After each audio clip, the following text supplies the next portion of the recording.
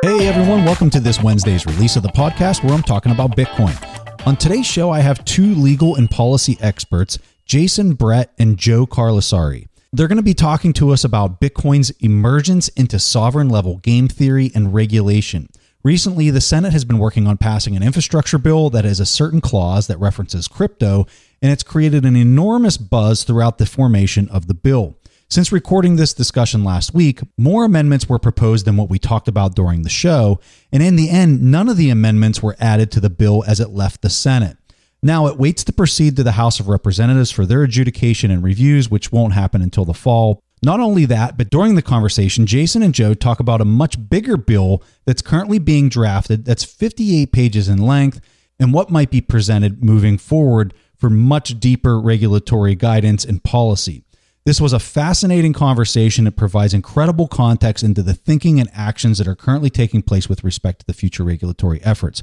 So, with that, here's my conversation with Jason and Joe. Guys, I've been anticipating this conversation all day long because, my oh my, this topic is so hot right now. There's so much happening, there's so much to talk about. So, welcome to the show. Awesome to have you here. Thanks, Preston. Thanks for having us. So the the thing that everybody's talking about is this infrastructure bill. Can one of you guys just give us an overview of like how anything crypto related worked its way into this infrastructure bill? Give us a little bit of the language that initially came out with it. Now I know there's amendments that are being proposed. Talk all that to us and just kind of give us a, a one over the world on what's going on. I'll let Jason speak to the first part of that, and I'll go over the language after we get that established.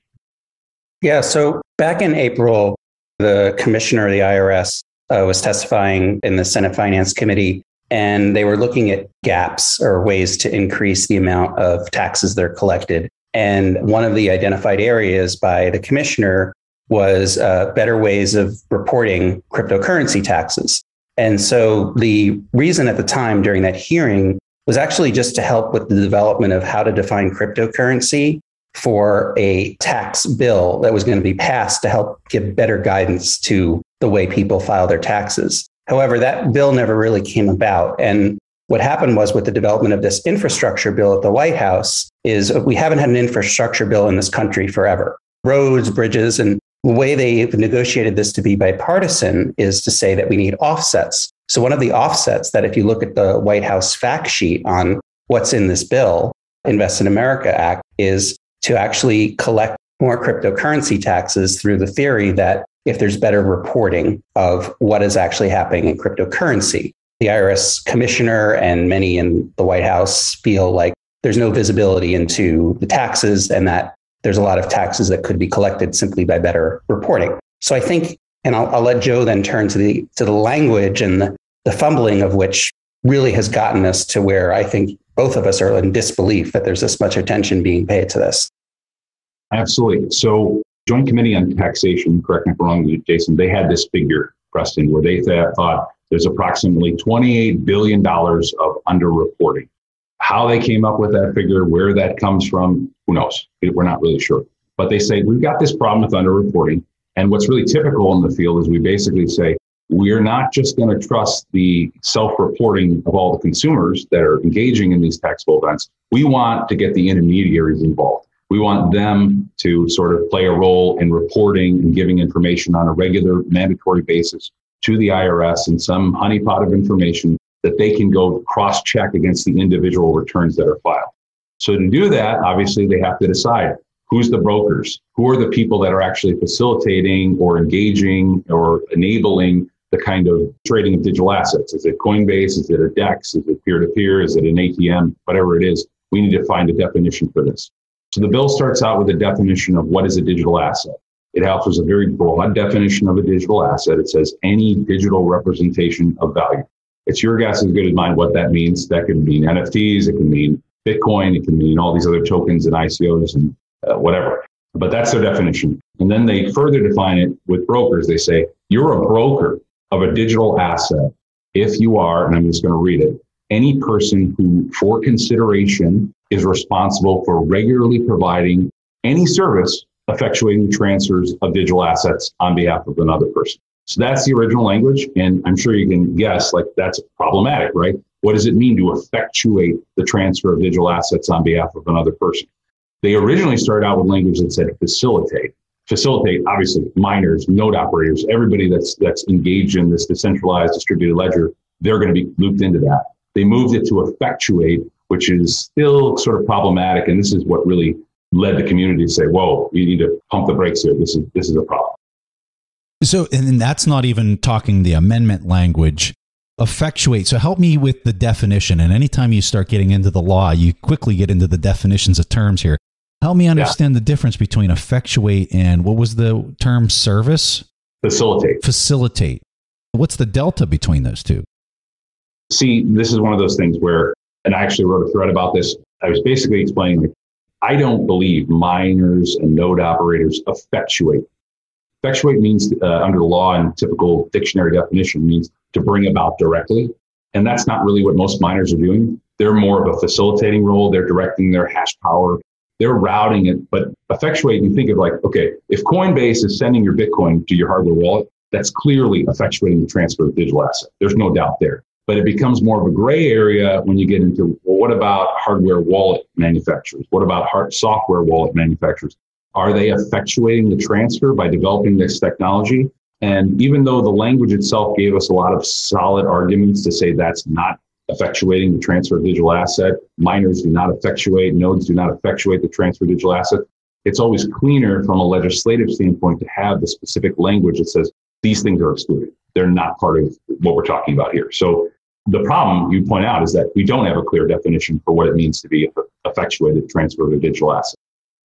Yeah, and it gets really tricky because when you go from Lightning to Bitcoin at the base layer, the full node that I have, the full node that you guys might be running, on that base layer, we're all keeping a record of every single affection that has occurred since the Genesis block. But whenever you get into the Lightning network and you start thinking about, well, now I'm potentially collecting a fee by just routing a data packet through my node, but not terminally ending up on my node, those are two completely different things, but we're still talking about one piece of hardware that's sitting in my house that's onion wrapped yeah. and there's no way to track. And well, it's clear from my perspective. Like I think what they were trying to do is because the original language actually specifically mentioned dexes and they wanted to capture that activity. They didn't want to say just centralized exchanges that store Bitcoin. They wanted to capture activity broader than Bitcoin, some of these other products and NFTs and whatnot. That's what led them to incorporate this broad language. But then our people said, well, wait a second, uh, Bitcoin people specifically, they said, wait a second, this is going to potentially affect miners and affect node operators and all these other groups. So that's where we've got the recent push to try to revise language. So now, when you're hearing these conversations on the Hill, are you hearing various array of opinions on it, or do you find that most representatives are just open to learning and just trying to understand what it is that they're missing? Or are they more on the offensive, like, no, this is what's going to happen? And I know it varies from person to person, but if you could just generalize some of the different types of opinions and personalities that you've experienced, what's what's that look like? So I think if we start with Senator Portman's office, he's the one that was bringing this language into the bill, and he probably was doing it with White House support. And it's clear that his office was totally caught off guard. And you could tell from some of the statements he was making, he just wanted people to go away from his office. And, and I talked to some people who said, like, when they were asking for updates and things were going back and forth, that there, there was this sense of like exasperation like, are we really making this big deal about it? And then sources in the White House commented off the record that they felt like this was crypto's attempt to try to water down the package. Because you have to remember, the White House said they didn't have all this uh, specific language. They just said, let's collect as much taxes from crypto as possible. Seen as an attempt to water it down when really people were just trying to define and explain how the system works. And there wasn't a lot of understanding around that. For some, what, what's fascinating about this dynamic is that the Republicans, both Toomey's office, uh, Pat Toomey, who ended up introducing this, is introducing it against another Republican. So the Senate's 50 50, but it's you know democratically controlled. So it's very rare to have these top Republicans who are essentially the minority who are really fighting with each other over the language. And Toomey said that the language was unworkable in a statement.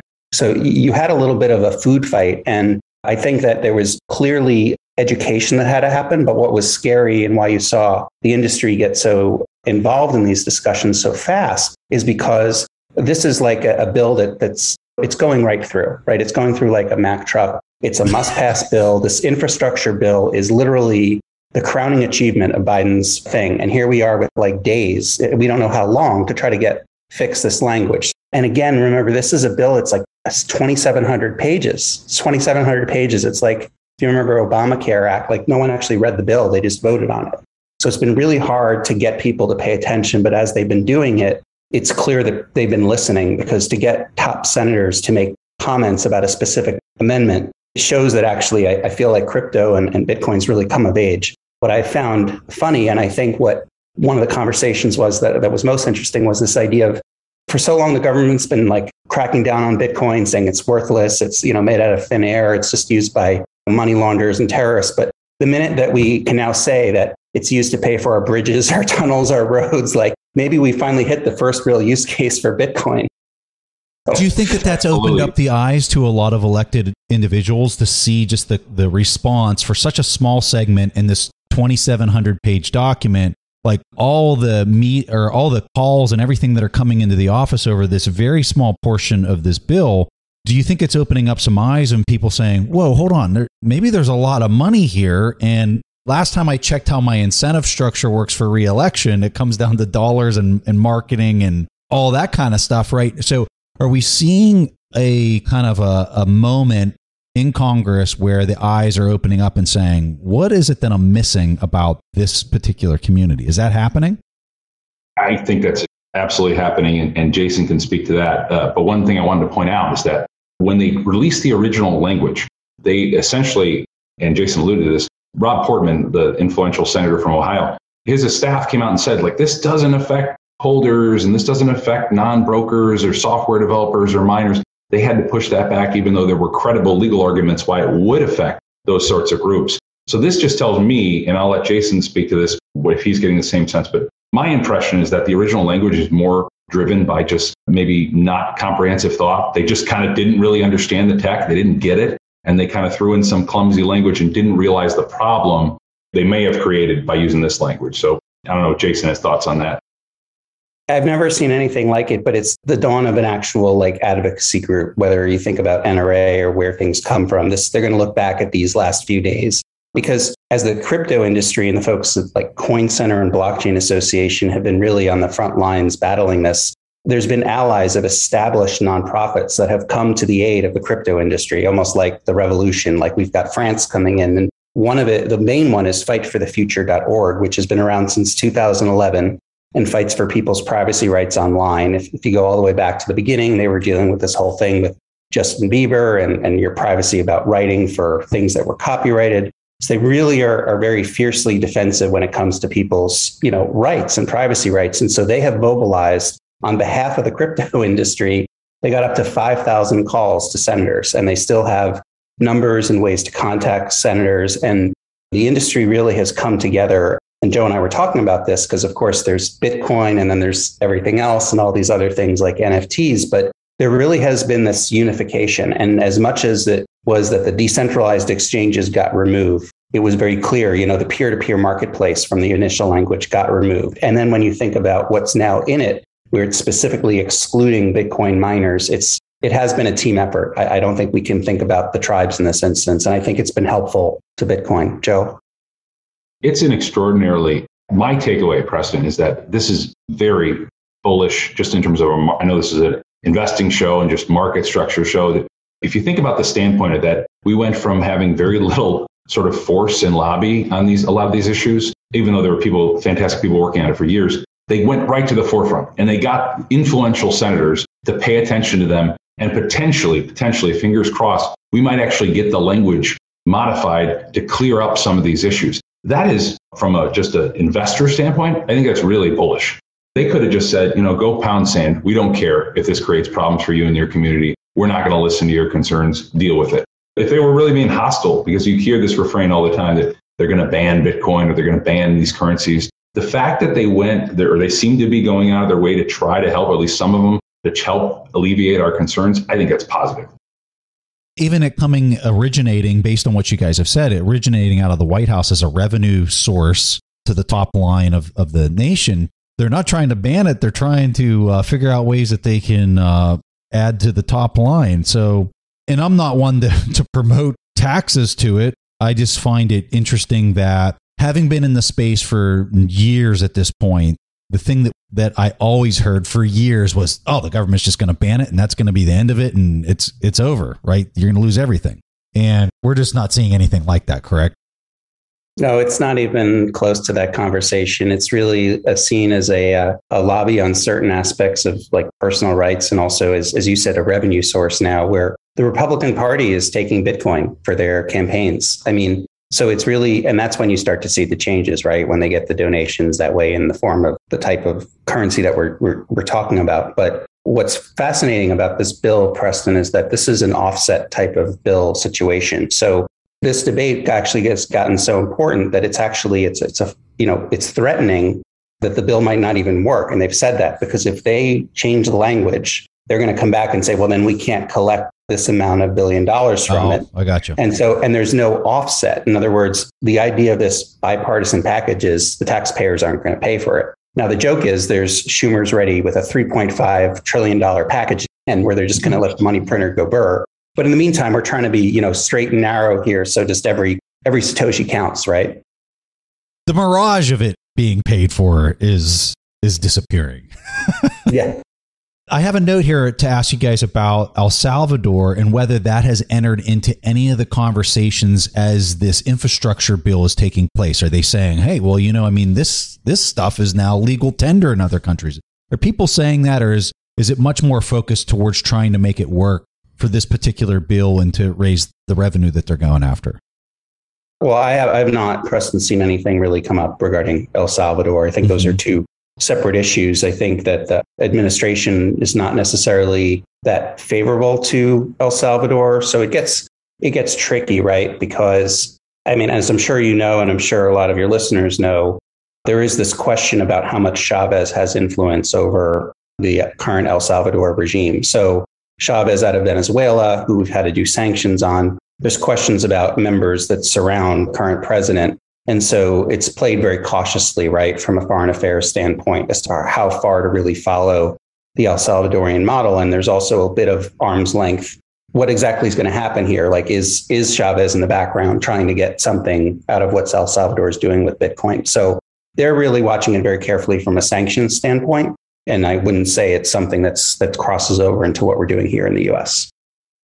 Yeah, I'd agree with that. I mean, from a, just a general legal standpoint, I think one of the most interesting issues on that front with El Salvador remains this uh, these statements and potentially some of this policy. I think coming from the IMF and the IMF essentially saying they issued sort of a veiled warning against El Salvador's adoption of, of Bitcoin. Nothing too explicit, but then there are these provisions that I, am not intimately not familiar with them, but my understanding is that in the IMF and the World Bank institutions, they do respect the sovereignty of certain states to select what is legal tender and recognize that. So that's going to be interesting to see if they now tweak the language to sort of weasel out of that issue and no longer accept what El Salvador is elected to do. So, Jason, you had said that there was 5,000 calls that were made, and I'm assuming that was just in the last couple days is that a high number relative to other topics that are going through with bills, or is that kind of like normal? Give us a sense for what that that number represents. That number is actually pretty normal to high for what you would expect from an advocacy standpoint. So if you think about it, it's actually trying to get somebody to pick up the phone and call or send an email. So it's pretty, again, it's pretty significant when you look at it from the perspective of there wasn't really anybody even ready to make these calls. Usually, a lot of the calls are just ready to go, script, you get what you need to do, and you call in as a grassroots. So it, it's very, very successful to reach that and still have more people calling. I mean, if you look at Twitter, right, you can see oh, yeah. uh, Jack Dorsey. Jack Dorsey actually retweeted and said, "Call these offices, encourage these senators, go for the the Lummis Toomey Wyden amendment." And and so it's Senator Cynthia Lummis from Wyoming Senator Pat Toomey from uh, Pennsylvania and Senator Ron Wyden from Oregon, who is a Democrat. So it's, it's this bipartisan leadership of Senate of three senators who are pushing for this amendment. And they're encouraging everybody to call all 50 senators' offices, 100 senators' offices to help them with getting what they're going to need, which is 60 votes for the amendment. We should see that vote tomorrow. Preston, so there's actually, um, and I think it's important just to mention it, although it probably has very little chance of passing. Jason, correct me if I'm wrong, but there's actually two amendments. There's the first one, Ted Cruz, the senator of Texas proposed, which basically said, let's scrap this whole thing. Let's just get it out of the bill. I think that, and, and actually, um, some prominent advocacy groups have backed that, and Jason can probably speak to that. But then there's the, the, the, the amendment that um, was just referred to by Jason, the, the Lummis and Wyden and Toomey one, and we can go through that if you want to explain how the language changes. Before we do that one, I'm curious, Jason, what do you think of the one that the Texas one, the amendment that's just basically saying scrap the whole thing? Do you think that that has a, a probability of passing, or is it pretty low probability? Well, it, it's Senator Cruz, and he's sort of gone out on his own here on the Republican side. It's it's really it's a bipartisan bill, so it's just really when you ever see one senator, it might get some votes, but throwing it out is not really, to be honest, the way that the industry should be working with Congress right now. We should adjust the language and we should realize it's an offset because throwing it out puts the whole bill in jeopardy. And so there's a little bit of give and take here. I mean, I'm sure there are a lot of people hardcore say throw it out, don't don't do it, but that would then mean there'd have to be somewhere else. And if we're talking about legitimate taxes that need to be paid and we set it up in a way in this bill where at least it's it's much much better than where it was before, that's to me much the way we want to be known because if you think about it, if we push so hard and then we get it thrown out, the IRS is still going to be there tomorrow. And we don't want to get the IRS and government out to just get us, right? So we kind of want to just make things in my mind that go with the amendment. It's a nice idea with Cruz, but there's really, you're then not offsetting anything and it's a bipartisan package. So there's a little bit of compromise, I think, here. And, it's perfectly fine language that's in there now from the amendment from Lummis, Toomey, and uh, Wyden. Let's talk the amendment.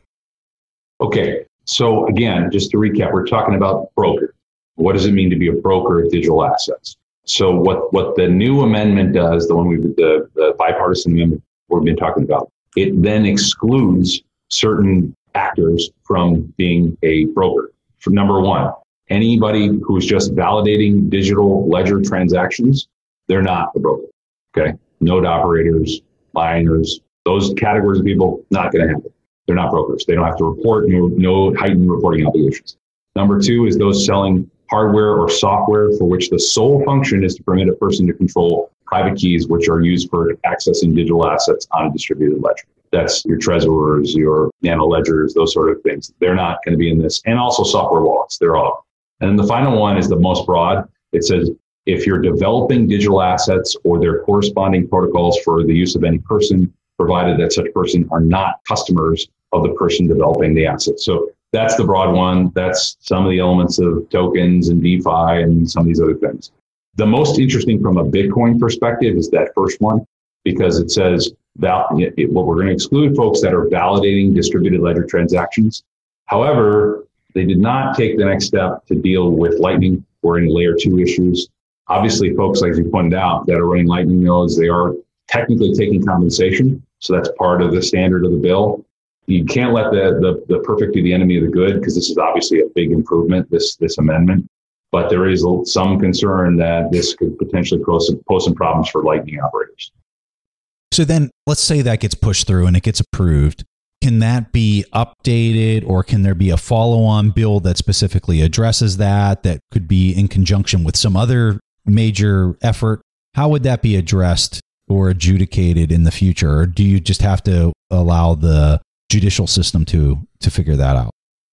I can speak to the judicial system, but I'll, I'll hand it over to Jason first for the likelihood of being amended or conference committee or some other thing legislatively. Part of it would be the interpretation, but like, so what originally happened with this bill, and it's not the best solution, is to have a legislative record. So that would mean we probably should ask those three senators if they would say on the floor, this is not intended for, you know, lightning node operators. And then sometimes they'll issue a conference report and it specifies it's not as strong as the actual wording being in it, but it's clear. And if it ever does go to court or there's a question, it's it's clear what the intent of the bill was. I think that's the enemy of the good. Trying to explain lightning to U.S. senators where the average age is over. I mean, six, you know, you, uh, you try to talk about a node. I'll never forget during the, the Libra hearings, there was one congresswoman who was trying to explain what a node was, or she was trying to pronounce it. She's like, is it a nod? Is it a neat? I don't care. What are you doing with all these things? So, you know, you have to recognize there's the amount of time that's we've had where people are literally working around the clock on this and trying to explain some of these things. That would have been a really tough reach to try to build that in to this. I don't really think that Lightning node operators should worry about it. I don't think they're in jeopardy. I think you want to think about it again, Preston, like we're collecting taxes here, right? So is there really that much revenue to get from Lightning node operators? It could be addressed in the future and it could be clarification even from the IRS itself. Say this is not what we're looking to, to collect taxes from. It is a mess. Even right now, absent this bill, Preston, folks running a Lightning node, I don't know if you run one, but if you're receiving like a, a couple sats per routing transaction, that's a taxable event, which is really annoying. It's a, just for the sake of simplicity of trying to foster innovation in this technology, we need to clean it up. It's a mess and we need to fix it. Uh, obviously, pay your taxes. I'm not saying don't pay your taxes, but to pay a, a two Satoshi routing fee just seems kind of absurd in my view. I totally agree with you guys. And when you just look at the sheer size of the Lightning Network today relative to the base layer, it's very small, relatively speaking. And if you would think about the the revenues that are being generated through routing on Lightning, it's not anything that I think the IRS wants to spend its time trying to chase down either. But with that said, in five years from now, I could see that as being a location where there is going to be, especially for large businesses that conduct a lot of business to business type transactions, especially in payment clearance. So if you're Visa or your MasterCard and you're using these rails to reduce your expense structure because it immediately clears, like those are the businesses that are going to be huge beneficiaries of Lightning, in my humble opinion, in the future. And they are going to have substantial uh, revenues that are kicking off of just that routing, I would suspect. So they're going to need something. I would imagine their their lobbying game is is on par. Correct, Jason? Yeah, and, and I think in that case, what you're talking about will probably be resolved at the IRS level, right? And that, that is where you can still have Congress help influence. Maybe from what you're saying, there might be a certain threshold, right? If you get above a certain threshold on your node, then you have to do the reporting. And so that's something I think that can be worked out and should certainly not be forgotten. In fact, could be tomorrow that we introduce a bill to sort of direct the IRS to do that or come up with rulemaking around that. So it's something we want to stay on. We don't want to wait five years to find out, oh, it's just all of them. So that might be something that when we actually have time and have slept can actually talk about maybe what this is going to look like down the road. I'm kind of curious if you've seen traditional banks, because I mean, their lobbying effort has to be off the charts as far as how long they've been doing it, just all that, right? Are you seeing them interject into this particular piece of the bill to fight it or to make it worse or just in general, like how are they involved right now and what's kind of their point of view? Because I mean, this thing is basically going to disrupt that entire space. You know, it's funny when I'm reminded a few years ago in an Uber going into DC and someone was like asking just a little bit of what I do with lobbying, like lobbying for Bitcoin. I was explaining, well, you know, the banks don't really like us. And obviously it's like the largest bank lobby. The government really doesn't like us and what we're trying to lobby for. I remember the guy turned around and said, I wouldn't take a job like that. Someone be liable to like knock you off. You know, you're going up against really powerful forces, and the banking lobby is like the powerful force. I don't think they got involved in this one, and I think there's there's a reason why. It's just recently been a change where banks, as you see in the news, like Wells Fargo and others, are starting to look at how to custody Bitcoin. And the American Bankers Association, actually, as of July 15th, put out a uh, understanding cryptocurrency memo. It was the first one from to their members and it's actually quite interesting because they talk about trying to partner with crypto companies because they're making so much revenue to help banks with their revenue. So I think there's this now acceptance of crypto. It's a fascinating read, actually, because it actually gives you use cases. And I never thought there'd be a day when I'd be reading the American Bankers Association Guide to Banks and they're explaining things like DeFi, how to do lending, how to do interest rate accounts. And, and they equate everything in the crypto system to the banking system. So I don't think that to them this was that much of a concern. Now, when it comes to trying to, you know, do anything related to banking or get a bank charter, that's quite a different story. And obviously, the Caitlin Longs and others of the world have seen there's there's a lot of pushback on that to try to keep the uh, players entrenched where they are. I listened to an interview with Caitlin recently, and when she got into the risk of immediate clearance or clearance happening in 10 minutes and the rehypothecation risk when traditional banks are trying to, or they're just accustomed to readjudicating their books on a daily basis at the end of every day as everybody kind of looks and makes sure that things have cleared and they assess that risk at that pace and everybody's kind of on the same frequency, right? Now you're dealing with the custody of something that's clearing every 10 minutes and like the risk structure is just totally different. And so that piece, is there anything else that you guys would add or on the the challenges that are that are being faced there or how it's being viewed optically from a policy standpoint? Is there anything that you've heard that you think is worth exploring or talking about? Well, I think one thing that's interesting and, and is how we've seen the SEC chairman come out and give a speech just yesterday, Gary Gensler, and um, basically try to lobby his own version of what he wants to see happen in the cryptocurrency industry. So it, it's clear things have really been sparked from this this crypto tax being discussed in such a public way because you know it's very possible he had plans or certain things he wants to see happen and this was his chance now he's realizing that everyone's talking about on the hill and then there was a very large bill introduced by Representative Don Beyer. It was very comprehensive, almost 60 pages in length. It's very evident that right now everyone's trying to sort of stake out their turf and it's no longer like an exercise. And so Gary Gensler coming out also was very interesting. I don't know if we'll we'll get to that, but because he really set up a system that's important to understand again just what's happened in the week of exactly how all of the tokens in the system are going to be treated what his plans are, the way he sees the platforms, and really what he expects of exchanges as far as coming to register with the SEC. So, Joe, I don't know if you feel it To me, that was the biggest jump in that he came out with that while all this is happening. Yeah, um, and and to directly answer your, your question, Preston, my view is that you just need more certainty in the form of legislation. I think you've got various bodies on a regulatory basis trying to cobble something together to make it work, but there's really with respect to custody, with respect to record keeping, with respect to how you deal with some of these things internally at an institution that's holding Bitcoin or other digital assets.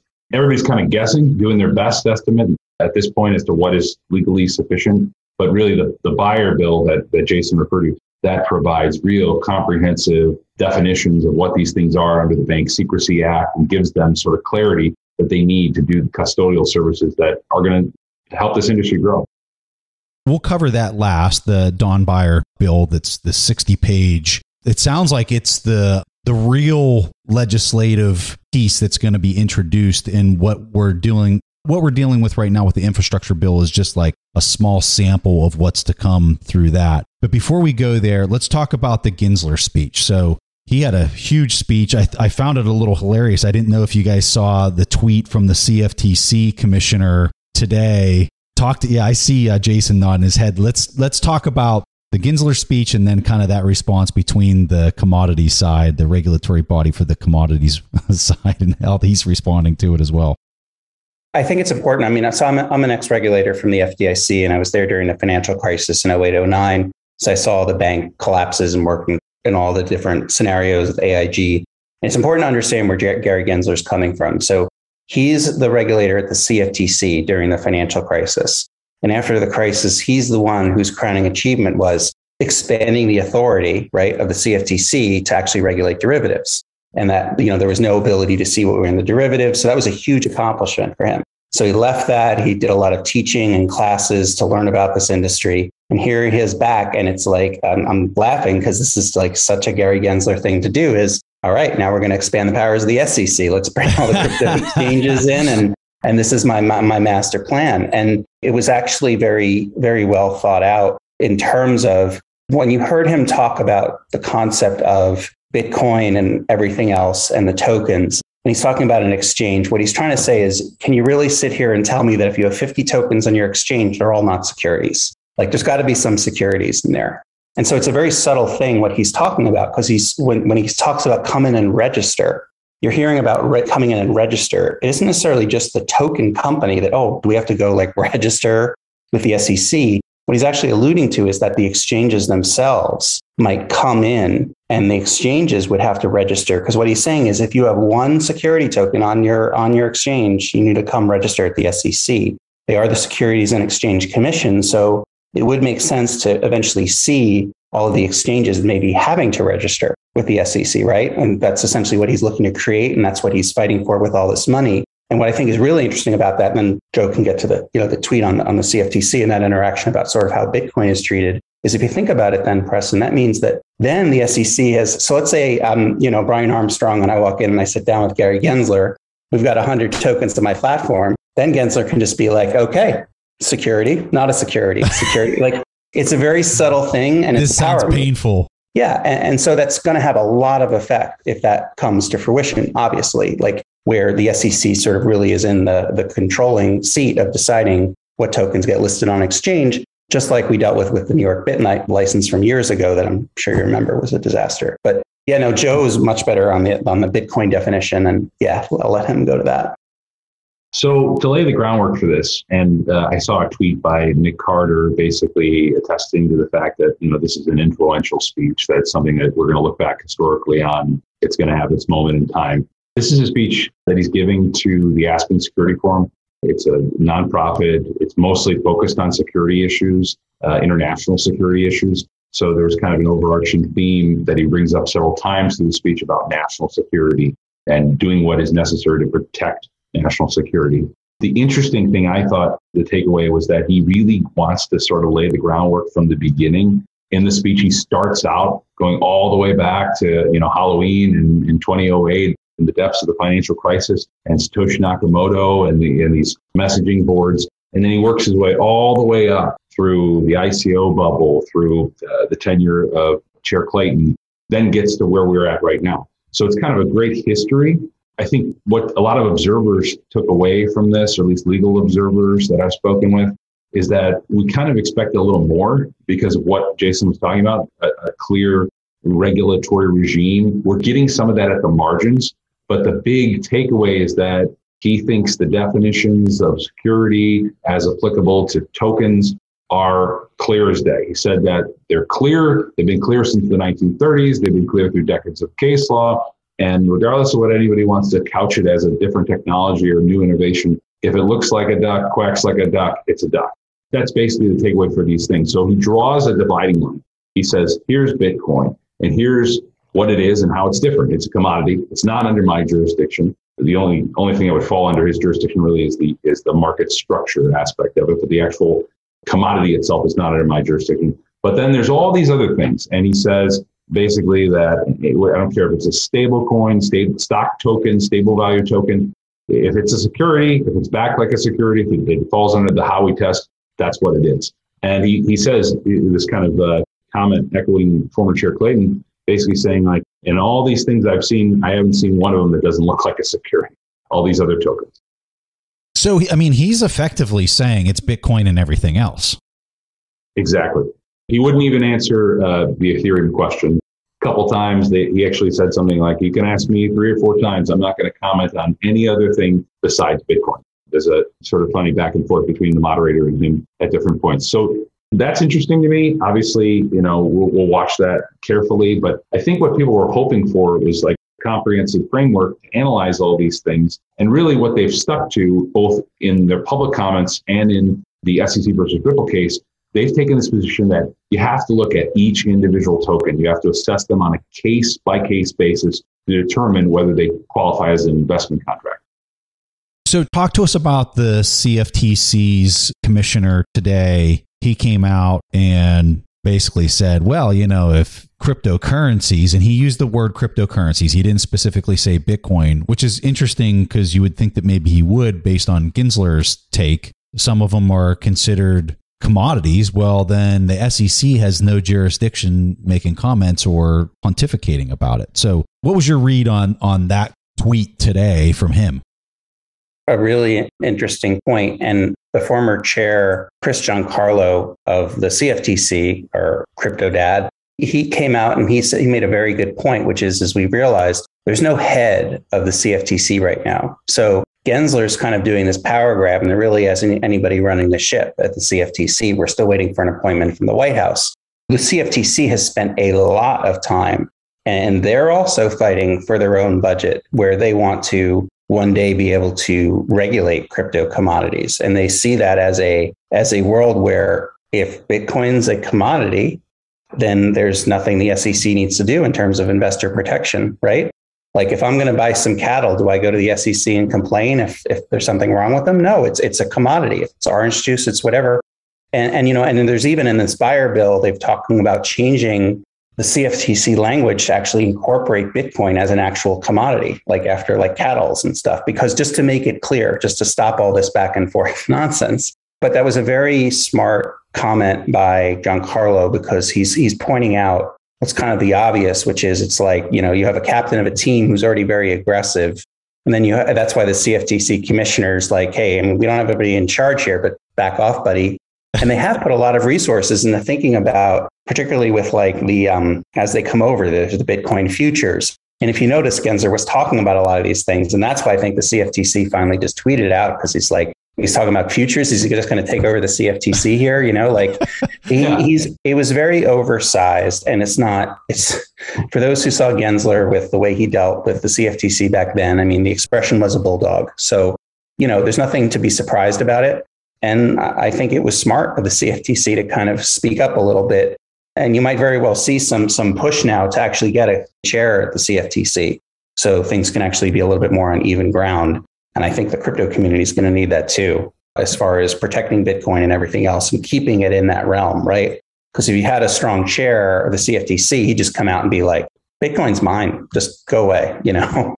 They're uh, very territorial. I mean, they're so, very Yeah.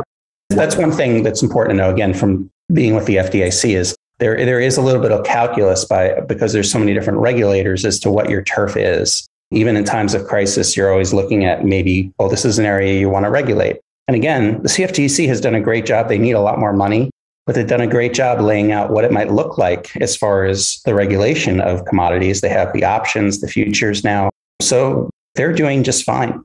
This idea that Gensler is promoting is this concept of he cares about investor protection. And he put out that cute little tweet where he's like, well, I'm neutral. I'm technology neutral, but I'm not neutral about protecting investors, particularly investors in Bitcoin. And that's maybe just a general question back to you, Preston, is what are the expectations when we buy Bitcoin? I mean, there, are there any assurances? Are there any, you know, do we need protections? I mean, I, I don't think that's what this community or this new invention is all about.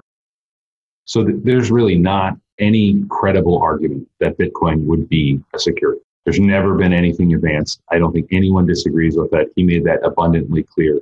But if you're thinking from a territorial perspective of what these guys are trying to accomplish to get the funds for their particular agency. If you draw a dividing line and say, Bitcoin's over here, that's clearly not a security, that's CFTC. But everything else, NFTs, all these other assets, they're mine. I get to do with them. I get to lay out the groundwork. It makes sense why he would drive that narrative home in this speech. And by the way, when he did his question and answer, Preston, uh, it was very telling. And if you remember when Coinbase filed its direct listing on NASDAQ, they said one of the risks was if we find out who Satoshi Nakamoto was. So, in terms of regulator speak, whenever they say something, they're saying it to make a point. So, when he asked, he said, Oh, Paul Vigna, are you going to tell me who Satoshi is? Does anyone in a thousand people in this audience want to stand up and say they're Satoshi Nakamoto? Which he's joking, but he's also saying if someone actually we find out who that person is, does that does that change the conversation? Which is why Coinbase, I think, put that risk in when they did their S1 Oh, that's really, really interesting. I've never heard that take. I mean, when you guys are talking, I'm just thinking, holy game theory, Batman. Like you're watching two regulatory bodies fighting over Bitcoin. I mean, these are things that have been talked about for years, is just the uh, game theory that happens at an individual level where people wanting to get their hands on this then happens at a very small local governmental level and then goes to a state level, goes to a federal level, then it goes to like this nation state competition. Never did I think you'd see infighting for it to be under their regulatory jurisdiction because it can suck more revenues into their into their political or their governmental organization. I mean, it's just this is wild for legacy, Preston. Also legacy, right? Some of these guys, they all want to leave their mark. Yeah. Like like like Jason said, I fixed Bitcoin. I fixed this market. I fixed whatever. that's a big part of it. The the legacy they want to leave when they retire and say, I, wow. I did this. It is really the arrival of, of Bitcoin, Preston, in terms of being taken seriously.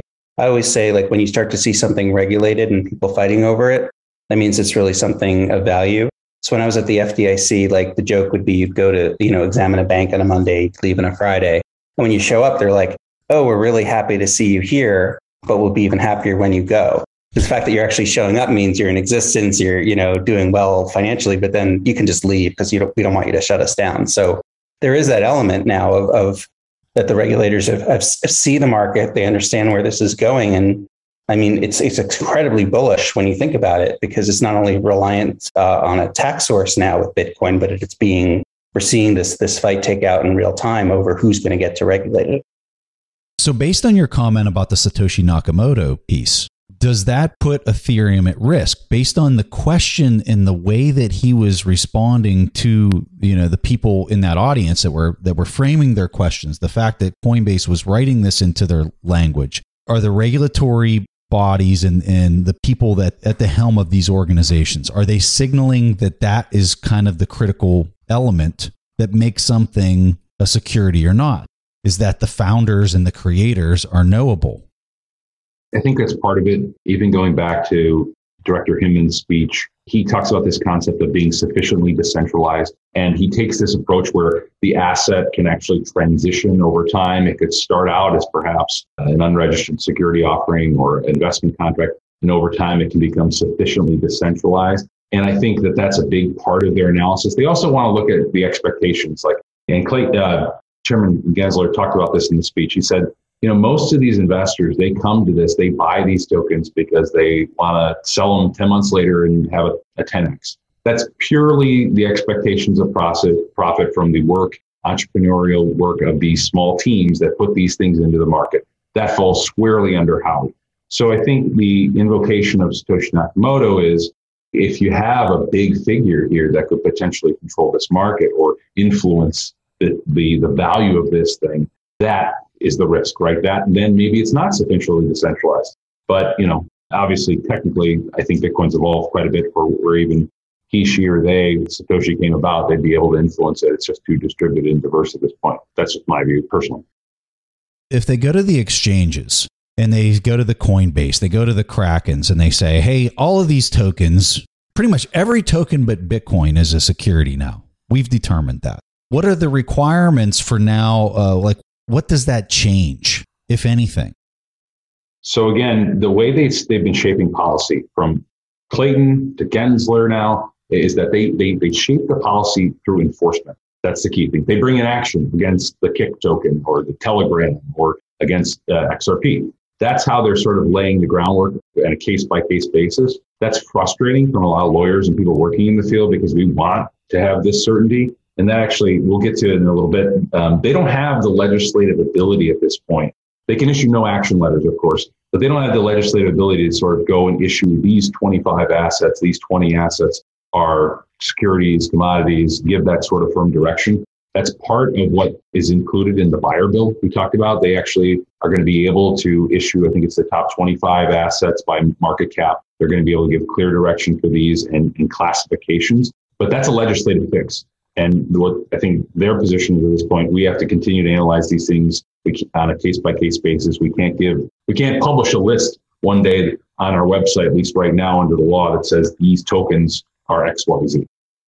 Okay, so let's talk about the Don Beyer 60 page today size bill that is all about the regulations for Bitcoin, crypto, everything there are bills that are introduced and talked about pretty regularly. In fact, remember Congress with at least on the House side, you have 435 members. So it's like having 435 small businesses. They're all trying to introduce bills. Not all the bills make it, not a very small fraction of the bills actually make it to the finish line.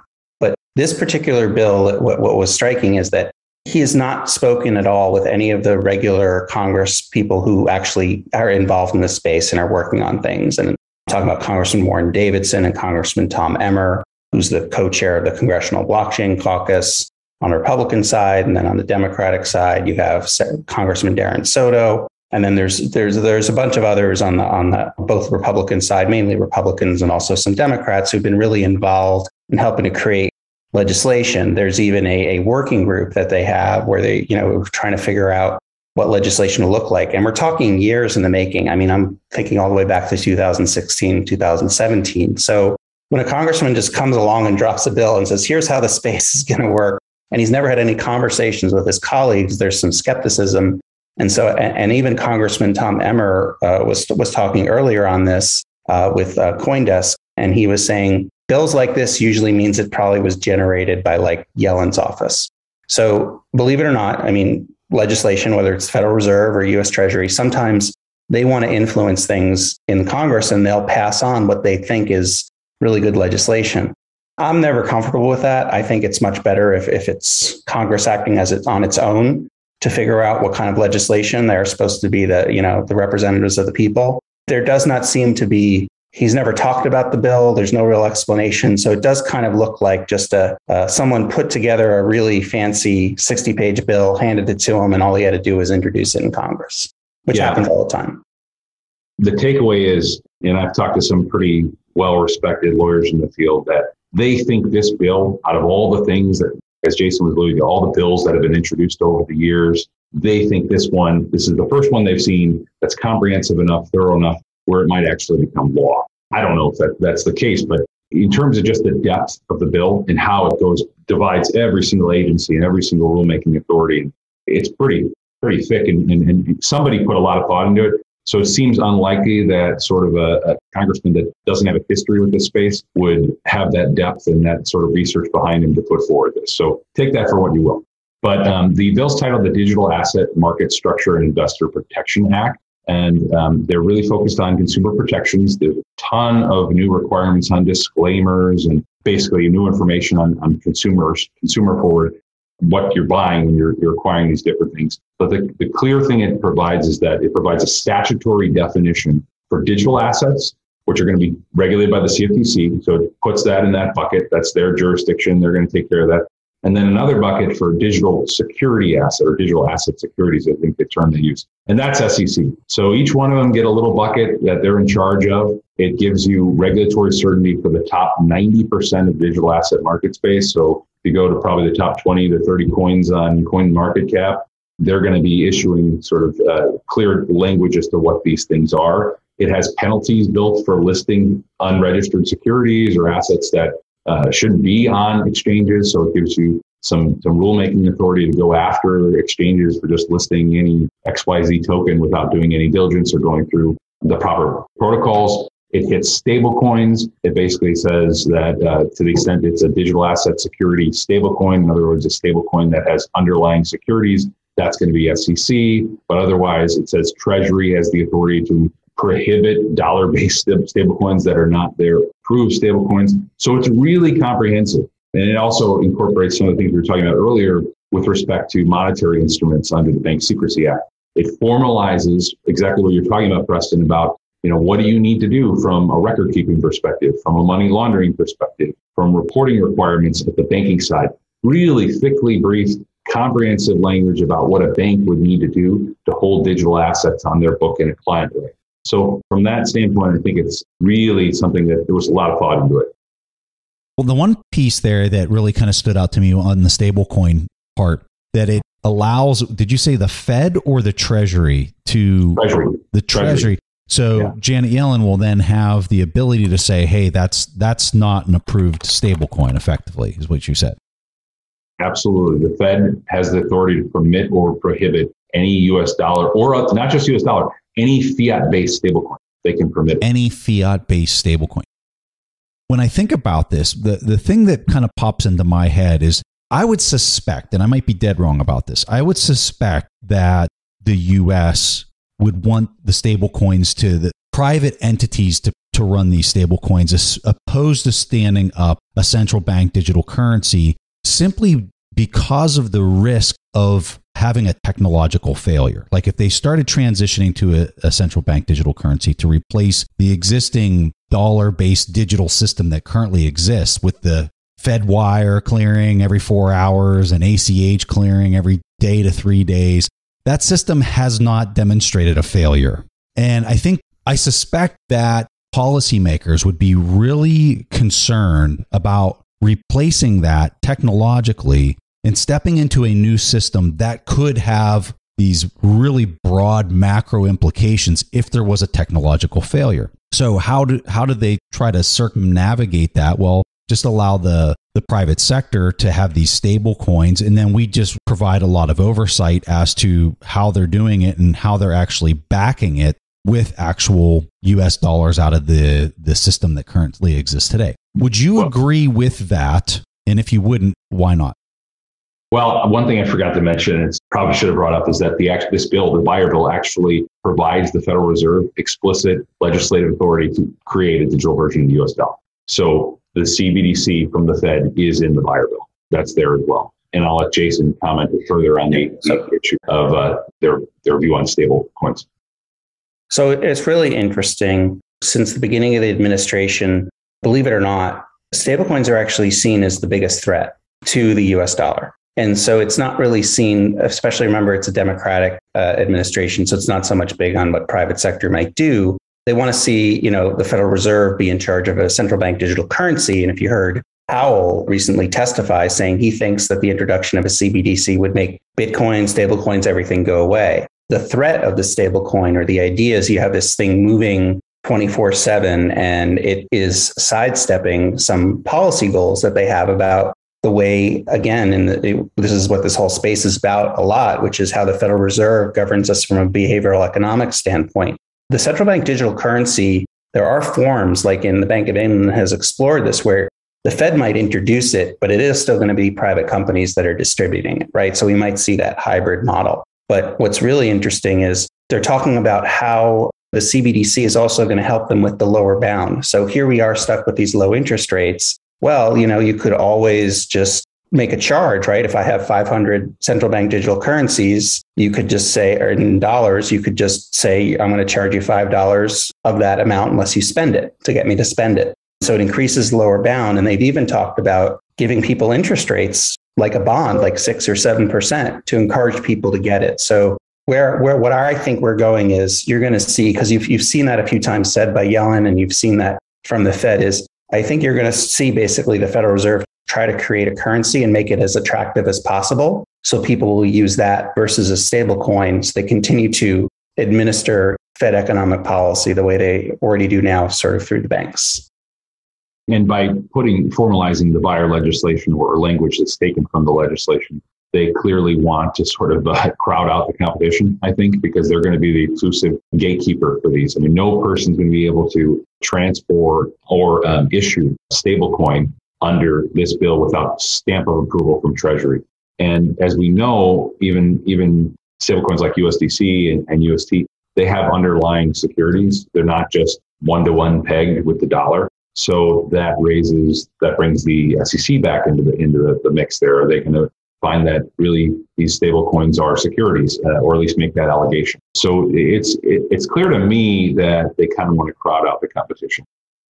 Well, yeah, and if they're if they're interest bearing, I guess they would be considered a security at that point. To Jason's point, if they're saying, "Hey, we're going to offer this much interest rate if you basically don't use it for this period of time," at the end of that period, you'll receive this 1% coupon that would be associated with lock or not using it for whatever duration that would be associated with it. Now, the other part was interesting about what you said, Jason, is you're talking about something that has a positive yield and something that has a negative yield at the same time. And we're also just glossing over the fact that the, the government, the global government's track record of spending exceeding tax revenues doesn't appear to be on a trend line that would reverse itself anytime soon.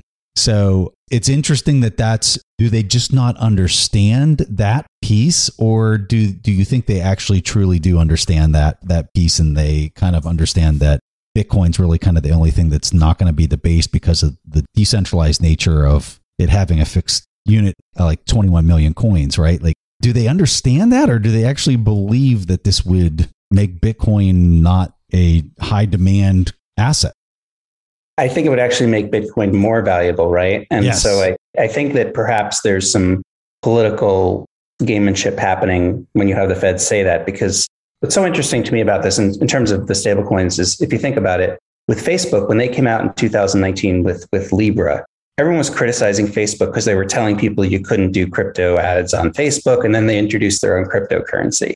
And then the government comes really hard down on Facebook, which is really like saying, no, no, no, you don't get to make money. And now here the government is ready to introduce a white paper and they're going to introduce their own money while not letting anyone really. So I think if anything, the goal is the policy goal is to slow down the Bitcoin market as much as possible, just to make it kind of slog through so they can have the time that they need to build out this CBDC.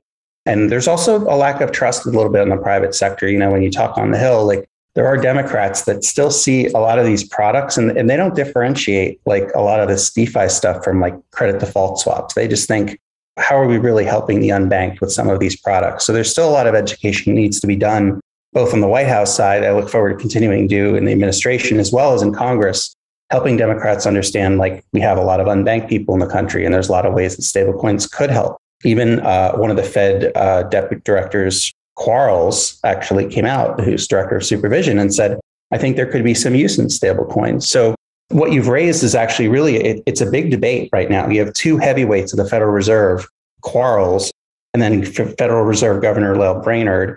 Brainerd's like the CBDC person. She's pounding that CBDC home. She's driving the whole ship on it. And all of a sudden, Quarles speaks up like, "Oh, maybe we just use stable coins." You know, I, I wouldn't want to be by the um, water cooler with both of them right now because that's a, little bit of an infight in the Fed over which direction to go. Yeah, and, and just to echo the, the, the point made by Chair Gensler in his Aspen Institute speech. He talked about, you know, Nakamoto creating this private form of money and other actors creating private form of money. That's not a new concept. That goes back in our history for a long time. And he kind of dismisses it with the notion that, you know, what really happens with a lot of these private monies is that eventually they just disappear and go bust. They're, they're, they're not valid. So I think that from my view, he's sort of dismissing the notion that private money has a long-term staying power. And I, guess I understand he kind of has to take that position, but it's fascinating because you read that with some of the efforts to control stablecoins and why they're so focused on stablecoins. That really would be would be a serious issue because right now one of the main reasons why Bitcoin is not used more as a medium of exchange is because it's primarily tax code. The tax code makes it completely untenable as a, as a current medium of exchange. Every five dollar coffee, having to record that just becomes too cumbersome in, in, in large degrees. So I think it's a, it's very self-serving to sort of have a tax code that inhibits Bitcoin from becoming, at least right now, a medium of exchange. One final point on this too, Preston, is we have our beliefs about what Bitcoin can do, but the Federal Reserve has like, and just the government has almost a 200 year history of being able to stamp out currencies that they don't want to deal with, whether it's state currencies, wildcat banking era with private digital notes, government can come in and they feel like if they need to get rid of some stuff and they want people to use a certain thing, it's so there could be really just an underestimation of what Bitcoin, of how Bitcoin's going to just remain part of it, and that might catch them by surprise. Absolutely. You know, for a person who's hearing this, that's a that's a hardcore Bitcoiner. I think the whole stable coin central bank digital currency, the real concern is on the privacy side. And if I have a digital wallet on my phone and I have a central bank digital currency and the government doesn't like me, or they want to peer into all the transactions I've had over the last 10 days, like they can do some crazy things once you start talking about that. So, does the Beyer bill address the privacy constraints of a central bank digital currency so that it aligns with the founding principles of this country? Or are we starting to get a little dystopian here and and a little bit scarier in the direction this is that this is all going as far as privacy concerns go. No, at least not as so far as the the Fed's authority to issue this digital version of the U.S. dollar. We don't really get into too much of the terms of that. They give them this explicit authority. They say go do it, and you're charged with the regulations or issuing uh, directives and guidance and how that works where that uh, you know repository of all that private sensitive drops of data is going to be that is something i think they just don't have in the bill right now so in the event we get movement on a digital dollar i think that's something that's going to be a huge push because people don't people i think privacy is a really it resonates with common people i mean even this issue right now that we're dealing with with the infrastructure bill i think folks the notion that transactions every single movement of a coin is going to be sent off to some uh, honeypot of information. I think that bothers a lot of people. I don't think that's uh, the kind of uh, regulatory regime you want.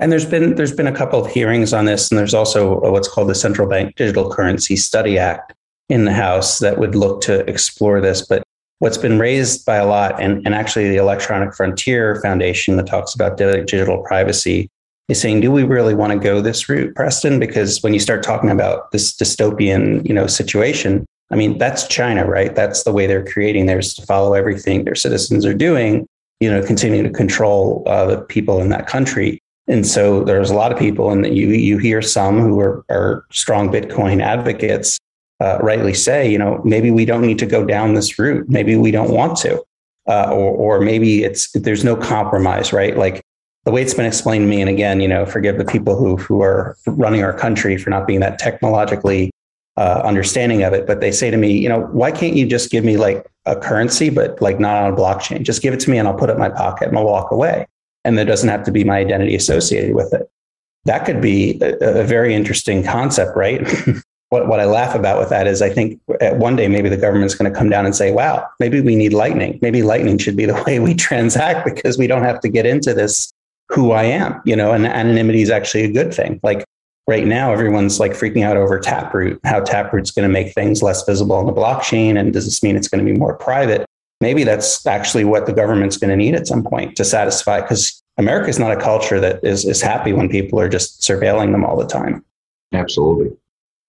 I think I would get a lot of crap from listeners if I didn't bring this one up. The ETFs. Talk to us about the timeline on this. I know Gensler has just recently come out. He's talking about it being cash settled and not spot settled, which is an eye roll for me because of just how I look at the gold market and, and the cash settled gold market on a derivative side. And I know, Jason, you have a lot of experience on the commodities and derivatives market. So I'm sure you're well versed on the differences between cash settled and, and physically settled markets. So why is he saying that? Why isn't he saying that an ETF will be approved that would be spot settled? Well, I think because he doesn't fully want to believe the way Bitcoin should work, right? I think there's an element of with it being spot settled or as you say cash settled. The fact is that you're going to really have people who are going to look at this and say, and to him, you know, it's it's more of a, a way of tracking it. And there's a distinction between the type of ETF that he introduced. And Joe knows that, right? Joe, the, the, the aspect of the type of ETF. But I, I think it has to do with the ability of, of, of just the way he thinks the market should function. But yeah, let me turn it to Joe. Going back, and I think any anyone who's interested in the ETF should always start, actually start with uh, Commissioner Hester Peirce's dissents and how she lays out the issue. And really, she does very comprehensive, thorough analysis of uh, uh, Section 6B of the Exchange Act to basically say they're reading this heightened requirement into the act. They're basically treating this commodity market different from every other commodity market that gets approved because they're basically, they want this standard where there's almost no fraud or manipulation of the underlying spot market. That's really the key focus that they've had. So the problem is that, and they've identified this in sort of the denials, is that they can't get enough information about the, the primarily these offshore leveraged derivative exchange and the spot markets abroad, and if there's volume being faked. And because we have this whole global ecosystem and a lot of it lies outside the United States, we can't ensure the integrity of the underlying market. The problem is that that is not, in Commissioner Peirce's uh, view, that is not within their role. They're not supposed to ensure the perfect stability of the underlying fraud market. So if you take that and you take the, the denials of the uh, registration statements that have been issued over the years, there clearly has to be something that changes within the market structure to give them the ability to pivot. There has to be something, even if it's like a political solution, like they can come forward and they can put in some sort of regulatory regime for these exchanges, at least the US based exchanges. Then they can say now the market is sufficiently mature. We are confident enough in the US regulated exchanges that the volume's not being faked and there's no problem with the spot. And that opens the door for us to pivot and say we're finally going to give the green light to the ETF. That's my view of it personally, just assessing the groundwork. Right now, I think that the, the consistent I- issue is we don't really have anything, uh, any movement or new regulatory regime on the exchanges. I think that comes, and I think that gives the eventual green light two things in terms of the timeline, which you, you uh, asked about, Preston. Number one, in the and as many have pointed out on the official agenda for the SEC, there's nothing on there about crypto, despite the fact that we've been talking about and they've been making public statements. Um, some have read that uh, to be an indication that an ETF is not close. It's really unfortunate on that front that they haven't, you know, fast tracked this.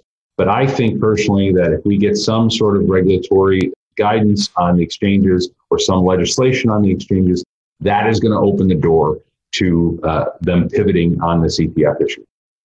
And just to clarify, like it's about investor protection at the end of the day and how he feels. And that's why he's looking for these stricter rules. Because again, remember, whether it's Bitcoin or Bitcoin ETF, he's looking at everything from how do I protect the investor? So he obviously sees some risk in not doing it in a way that would make the most sense. He wants to do it in a way that's just going to protect investors. And I think that's because he's not fully comfortable yet with the Bitcoin market and, and, and wants to see some of these regulations.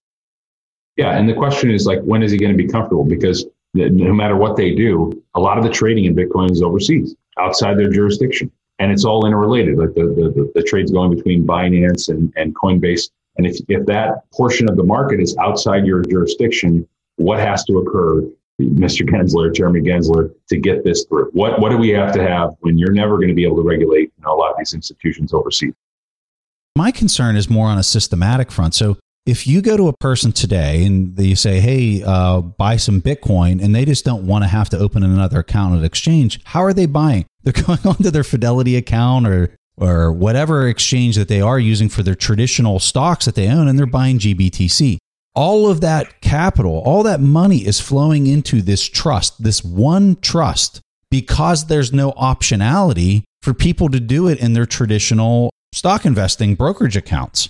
And so I, would, I guess I would make the counter argument of the failure to approve an ETF is funneling all of this money into this one thing that could potentially have issues. Maybe they have custody issues. Maybe they run into whatever problem with the GBTC, you know, vehicle that is working and is listed on all these exchanges. I don't know. I just it doesn't make any sense to me. That's exactly Commissioner Peirce's comment. She Esther Peirce said the almost verbatim thing that the fact you're driving these people to unsafer markets, markets that would be refined if we had an ETF. And it's also kind of uh, unfortunate now that you know we've got the Canadian ETFs, which are in place, and, and they're they have no issues with those at yeah. least so far. And I hate to disappoint you, uh, Preston, but the government doesn't do a lot of things that make sense, and that's a large reason for why we have these kinds of conversations. But and this is where, at least just from the political angle, what you have to realize is Gensler just got a letter from Senator Elizabeth Warren, and the whole narrative has been cracking down on Bitcoin. Too much energy, all these other things. So if Gensler, maybe he actually wants to do what you're talking about. Maybe he thinks it's the right thing to do. But if he comes out and does that right now, and you know they're talking about money launderers using it and all this stuff it's like oh why don't you just like let the terrorists into the country kind of thing by him approving a bitcoin etf so unfortunately i think it's being delayed for political reasons and i'd like to see uh, I'd like to see this sooner than later because, to be honest, it's it's almost getting to the point where it's criminal because it's been a 12 year marketplace. There's others that get ETFs. There's just absolutely no reason why I can't just get an ETF. Trillion market cap. And it'd be easier and safer for a lot of consumers who, like you say, go to a 401k and everything. It's it's creating unnecessary risk by having it all be in one trust. So unfortunately, I'm not optimistic, but maybe by like early next year, we might start to see it. And you know what? I could totally see that happening. I could totally see that playing out.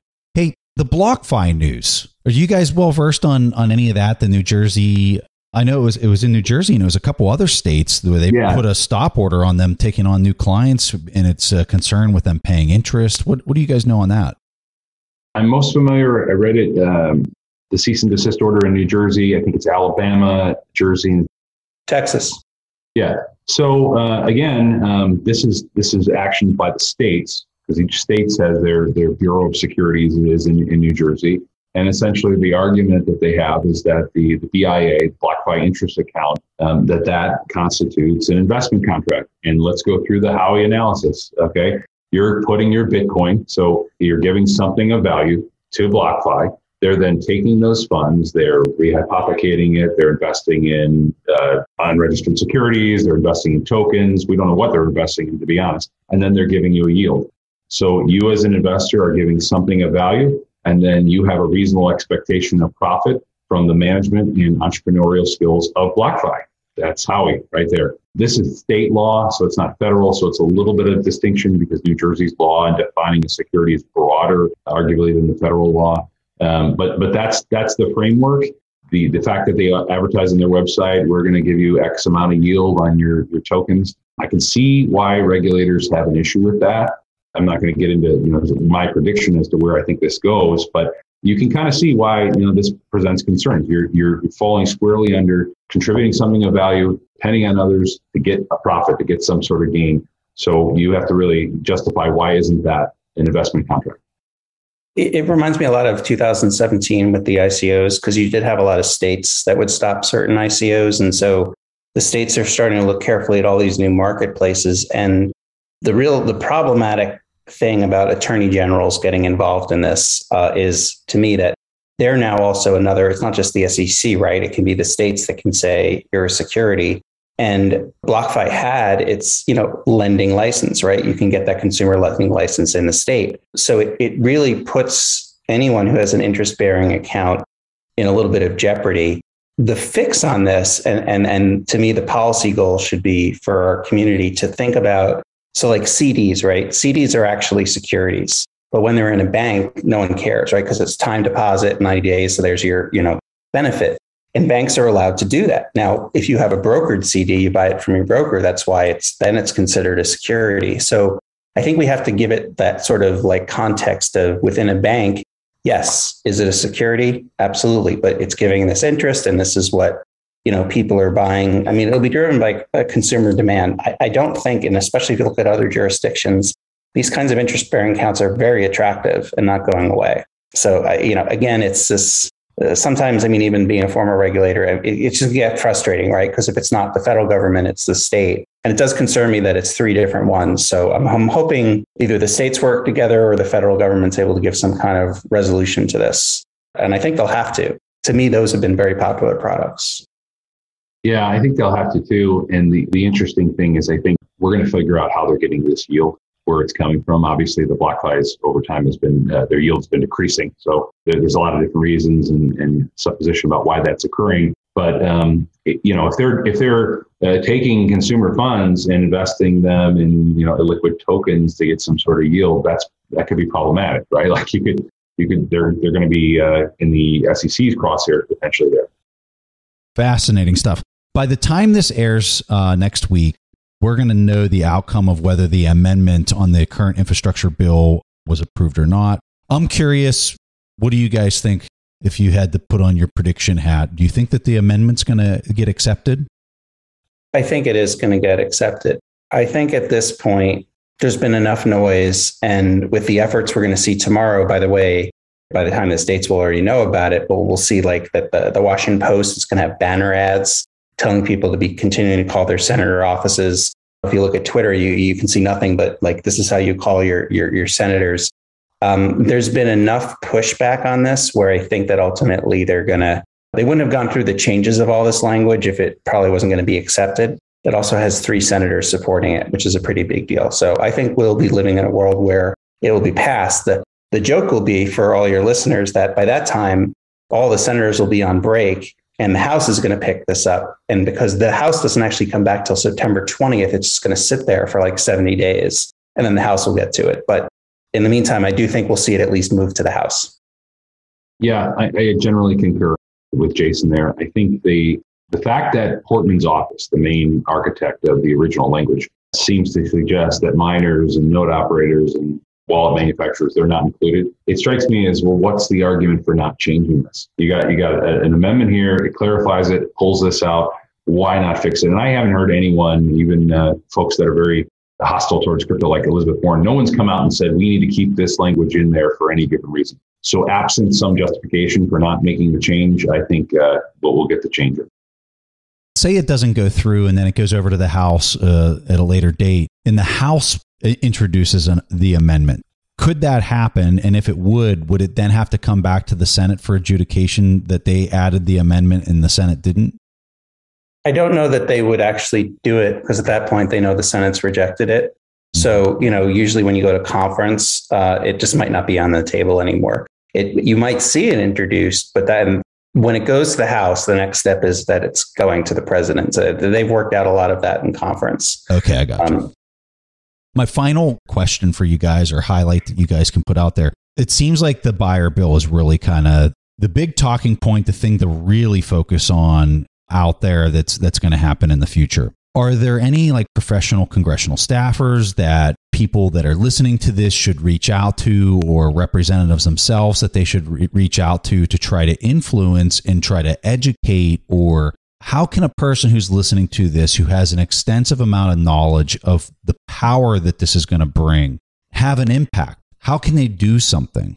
What would be your recommendation? And if there are names of people that can be contacted or influenced or whatever, what would you guys, what would be your recommendation? I actually penned uh, a piece with a friend, Amanda Cavaleri, for Bitcoin Magazine about this. That I ultimately think that uh, this is sort of a new era we're moving into, where we've got you know 40 plus million people that have some exposure to Bitcoin in this country, and I think Bitcoin related activism, single issue voters that are passionate about Bitcoin and the hope it brings for a lot of people are going to get involved, and they should stay involved. Obviously, this was a galvanizing force over this infrastructure bill, but there will be many other skirmishes and discussions uh, along the way. We're not going to get to a 10 trillion or 50 trillion dollar market cap on Bitcoin unless we engage with these policymakers on a regular basis and let them know that Bitcoin matters and they shouldn't just uh, you know push us to the, the kids table. We're we're going to increasingly be a force, and I would say. If, you know, regardless of where you're at, you could be, you know, in a blue state, a red state of the United States even locally, you should be having this dialogue, making sure policymakers are informed, that they understand how important this is, that they gain awareness of how the technology works. And all it can be sometimes is just a simple, con- uh, you know, call with your congressman, call with your, your senator, say, you know, Bitcoin matters to me. You know, have you thought about, you know, Bitcoin legislation that could be positive? Have you thought about reforming how Bitcoin is taxed? Um, these issues require a consistent dialogue and not just a one-off where we're out of the woods here and it's not going to be a problem anymore. I would say definitely think about reaching out to like Blockchain Association and Coin Center and the associations that are working on this legislation uh, as, as, a good first step. And there's a lot they've they've actually gathered 100 organizations together to help support this initiative of trying to get this one particular thing changed. So that's that's really remarkable. He'll probably kill me for saying it, but Landon Zinn is a really good friend of mine and I think and has been amazing since 2016. So he started out as a staffer for Congre- Congressman Tom Emmer, was there at the birth of the Congressional Blockchain Caucus. I remember when he was so excited when he first bought Ethereum. He's really done a masterful job of understanding the space, of understanding the technology, and he actually moved over to the Senate Banking Committee. So if you approach Senate banking and you have ideas, there probably isn't a lot that goes out about cryptocurrency simply because it's such a, a niche subject but Landon would be uh, an excellent resource and uh, is someone we have to thank a lot. Um, I remember talking to him a few years ago when we first met and his vision of how he tried to want to bring clarity so this industry could flourish. He didn't want to see it happen in, in other countries. Chris Land is also good.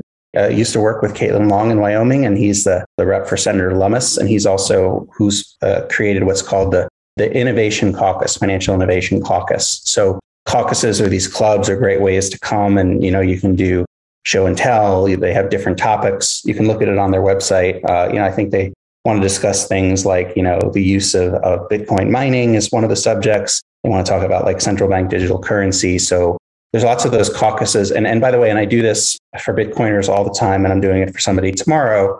You know, anytime like for free, I'm happy to help anyone. Just if you reach out to me, happy to give you some pointers and guides as if you're trying to figure out what to say or or how to how to do things, you know, and, and hopefully we can create a resource for Bitcoiners everywhere with not feeling uh, intimidated by the process. I always encourage people. It's it's it's you know democratic country. You, you don't have to know everything about DC. Don't be afraid of it. You know, if you have an idea and you want it done, it could be your local town, it could be your state, it could be Washington D.C. You can still walk in there and, and give your idea. You're you're a paying citizen. So, all right, gentlemen, this has been just so enjoyable for me. We have got to do this on a quarterly basis where we just recage and talk about everything that's changed and is about to happen. If you guys are, are willing to do that, I would love to have you back to do that. That'd be awesome. Jason and Joe, in that order, give people a handoff to maybe your Twitter account or where people can learn more about you or anything that you guys want to highlight. I'm at, at Joe Carlasare, really easy one. It's my, my name, uh, hard last name, but uh, if you search for at Joe Carlasare, you'll find me on Twitter.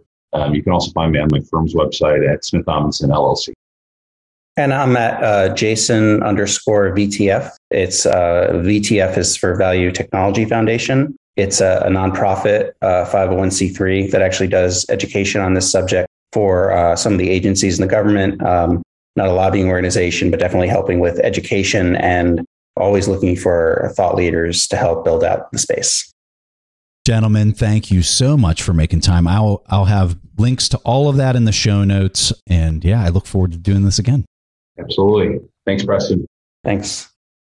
Hey, so thanks for everybody listening into the show. If you enjoyed the conversation, be sure to subscribe to the show on whatever podcast app you're using. We really appreciate that. And if you have time, leave us a review. So thanks for joining us this week, and we'll catch you next Wednesday. Thank you for listening to TIP. To access our show notes, courses, or forums, go to theinvestorspodcast.com. This show is for entertainment purposes only. Before making any decisions, consult a professional. This show is copyrighted by the Investors Podcast Network. Written permissions must be granted before syndication or rebroadcasting. Thanks for watching. Make sure to subscribe and hit that notification bell so you don't miss out on the next podcast episode and new investing resources. What are your takeaways and thoughts on this discussion? Let us know in the comments section below.